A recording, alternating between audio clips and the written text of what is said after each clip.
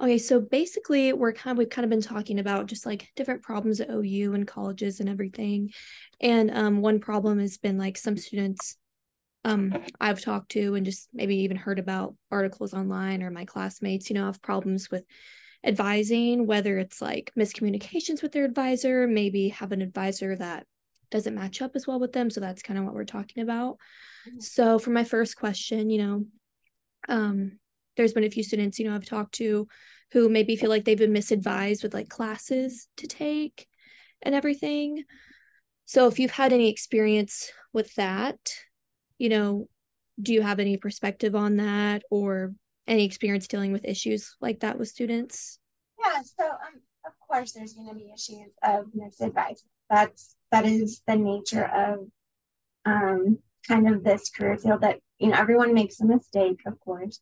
Here at um, I can only speak for here at OCCC. At OCCC, we have 88 different programs, and our advisors have to learn all of the ins and outs of each program, right? So, especially when someone is new, and you know still learning the ropes i would say um sometimes there's an easy you know cross reference or miscommunication made about um maybe what the student is wishing for so i think that is really when mistakes come to fruition is when a student has shared that they want to do this major let's just say nursing okay and then the advisor is like, okay, well, for nursing, we need this, this, and that. Well, along the way, maybe a couple semesters down the road, students like, I don't want to do nursing anymore. It's not going to work for me.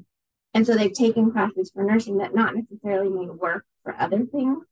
Um, and so they're like, well, I wish you would have told me two semesters ago that I didn't need to take this if I wasn't going to do nursing, but we thought they were doing it. So I think that there's always going to be two sides to every story, right? So an advisor may feel that they're preparing the student off of the information that they have, but that student may have some additional information that they haven't shared. Um, and then there are going to be just straight mistakes um, where a, a class code is entered correctly or um, someone is told to take a English 2 class when they've already had English 2 two colleges ago and they didn't have the transcript in front of them and they missed it. Um, and so it's just a matter of um, everyone makes mistakes. No one is perfect. Um, I would never say my advisors are 100% all the time. They do their very best. Um, but there are mistakes made. What I like to do is when something like that happens, we own it. We say, I am so sorry um, that I made that mistake. And I apologize if it has caused any inconvenience. And then we do our best to fix it, whether that's a credit for tuition hours. Like maybe if they took a class that they didn't need to take, um, we give them a credit back for those tuition hours so that they can take another class that they do need um, at no cost. Or if we're in the middle of it and we catch it we can go back, drop them out with no penalty. You know, we try to do our best to fix it for the student and, and meet the student where they are. But yeah, no one is perfect. So unfortunately, mistakes do happen. Anyone who says advisors do not make mistakes, that's not accurate. We, you know, we all make mistakes. Mm-hmm. Right, totally. And then I'm sorry, I forgot to start with this, but if you just want to state your first, last name, and title, just oh yeah, sure. Thank my you. Is, yeah, my name is Stephanie Miller, and I'm the director of the Coach Perfect. Thank you. And then kind of going off all that, um, if I know this is, you know, happened a few times, like I've had friends even that have felt like maybe they don't match up super well with their advisor, they're not getting what they need from their advisor, or maybe just they just feel like they're not meshing well with them. Are there any like ways that students could switch advisors if needed, or any practices in place when issues like that arise where they just feel like they're not a good fit?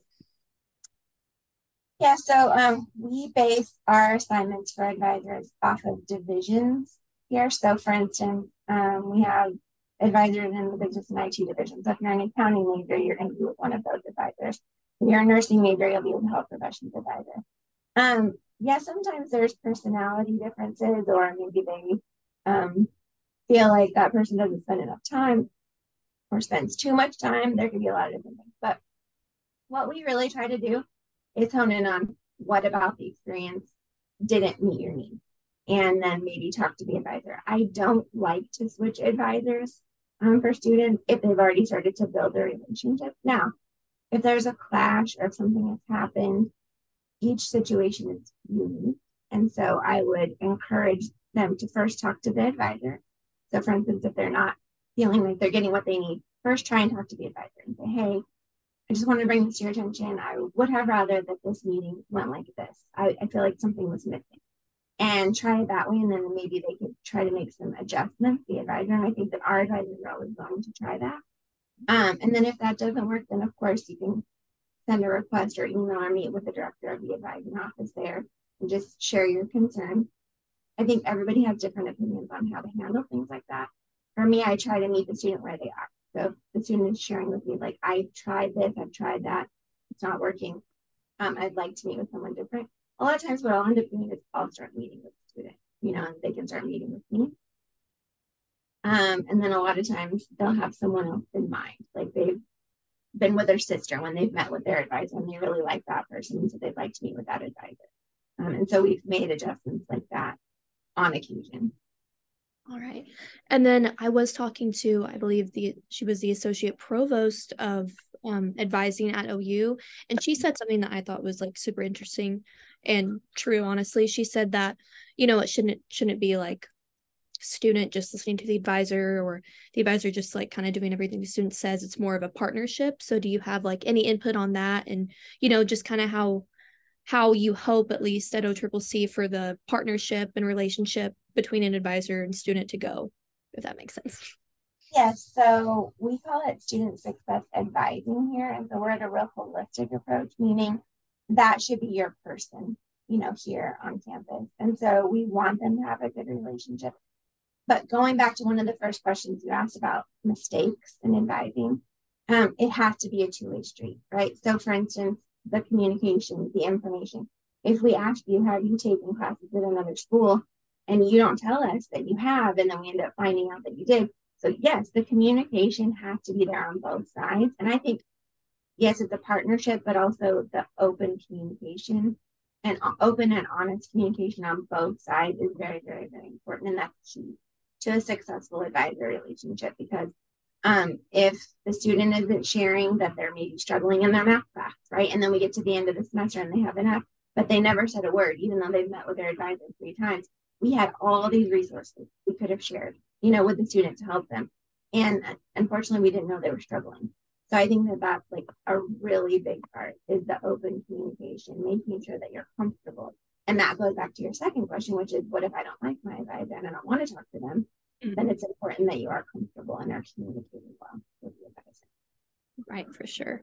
And then, kind of my last question is just like, do you have any advice you would give to students who may feel like they're struggling with their advisors and kind of any advice to students in general for their advising and you know what what they should do what students should be doing to make sure that they're getting everything they need from their advisor absolutely so i would say for me um, the biggest thing that they need to be doing is speaking out for themselves, communicating, asking questions.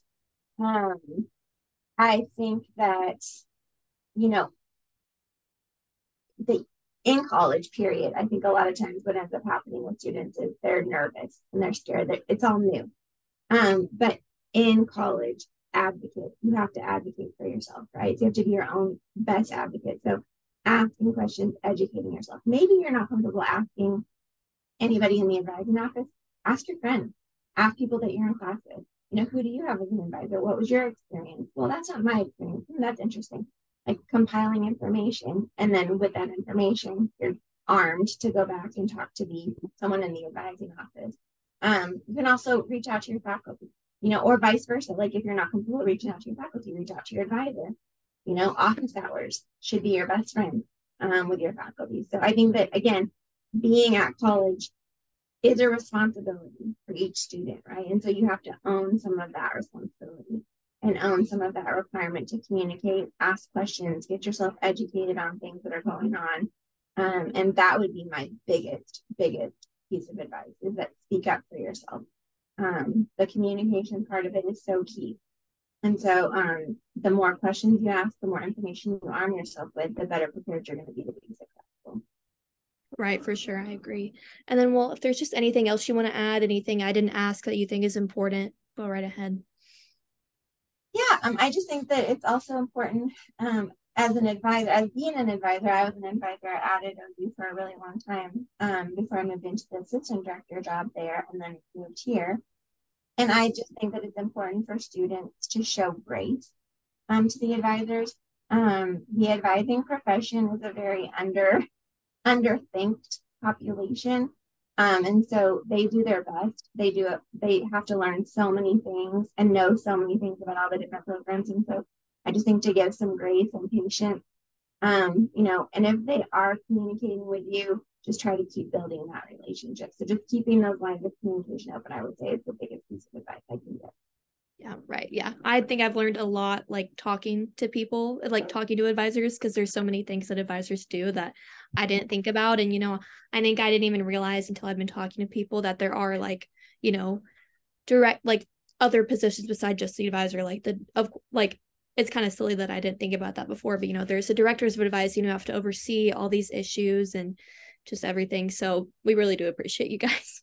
Oh, thank you so much. I I think that most students are very very, you know, um they understand, right? But a lot of times um, you know, we could tell someone something, you know, two or three times and it maybe just takes a different person saying it for it to like click. You know how sometimes just comprehension is how it's communicated, right? And so maybe finding that like we're talking about, like I don't mesh well with the advisor, and that's just maybe because of a difference in communication style, right? So finding the person that you can openly communicate with is going to be key to your success.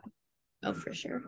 Well, I think that's all I have. But again, I just want to say thanks so much for talking to me. I really appreciate it. You've been a big help, and thank you so much. No problem. No problem. I hope you have a great rest of your semester. Thank you. You too. Have a great day. All right. Bye bye.